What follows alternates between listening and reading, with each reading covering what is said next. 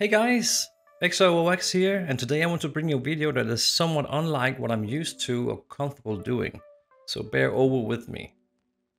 You might already have seen the trailer for Hello Games' upcoming title, Light No Fire. It was presented during the 2023 Game Awards in December, and it sent a rush through the gaming community as the scope presented was vast and ambitious.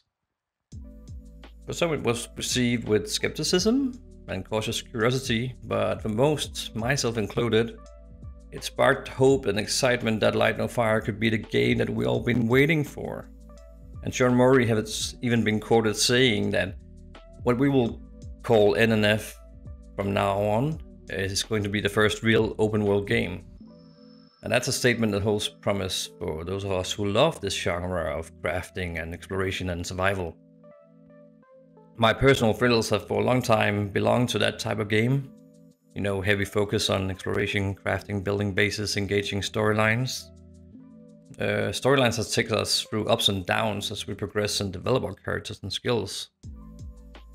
My big hope is that LNF will bring those aspects together in a balanced and entertaining way. I hope that we will somehow arrive in a, a, diverse world that allows us to go long and deep into the depths and uncover the, the secrets that might lie hidden beneath. Maybe even be able to do it in, in each our own way with individual consequences. But what has this to do with the latest update for No Man's Sky? And uh, why do I think you should care about that in regards to Light No Fire? We all know game development is a, a pretty huge investment, and it can turn out to be a crushing gamble, which we have clearly seen over the years and in recent releases. Uh, and let me acknowledge that I'm well aware how No Man's Sky came off not too strong back in the day, uh, but in my humble opinion, they have over the years more than compensated for that and made uh, NMS a great game, which I still find stunning to load up to this day. And that's why I allow myself to have high hopes. I do honestly think that they've learned from past mistakes. And I think part of that learning also makes me imagine shapes or could shape the way they approach development and testing. So, you know, while you can get great feedback from enlisting a, a specific crowd or select crowd to try out a new game in a closed forum and evaluate on the, that experience, I think another and more rewarding method of testing specific elements or mechanics it would be by employing them on an already published and solid running platform with a huge player base. The general aspect of human behavior is that when we know we're being observed, our actions and reactions change. So we're not actually showing how we truly feel because we know someone is somehow evaluating that experience we're having.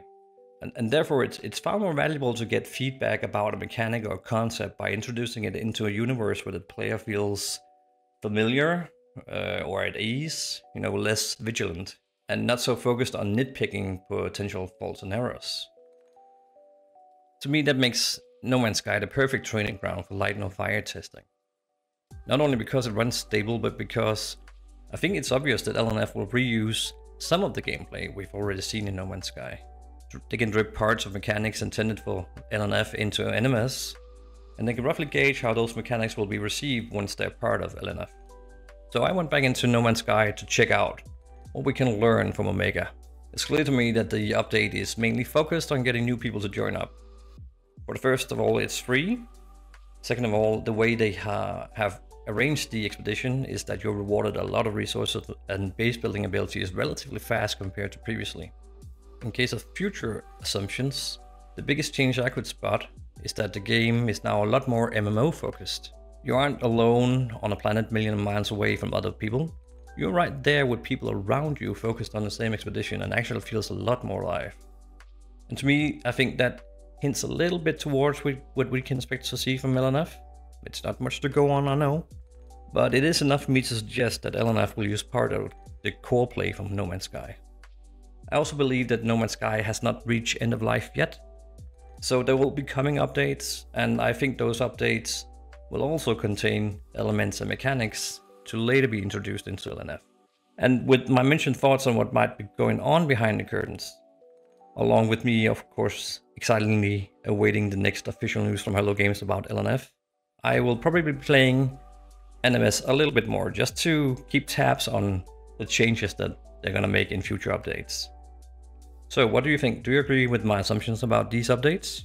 Will you be trying out NMS to see if it makes sense in terms of LNF? And I would love to hear what other games you would suggest the rest of us to go knee deep in while waiting for Light No Fire. Personally, I'm gonna have a live stream going for Nightingale for a while, also while still keeping engaged in Enshrouded. So yeah, finally, if you found this video interesting, please double like and subscribe, and of course turn on notifications. If it turns out you guys like this form of content from me, I will probably find more time to do this type of content. But for now, take care and I'll see you guys in the next one. Bye.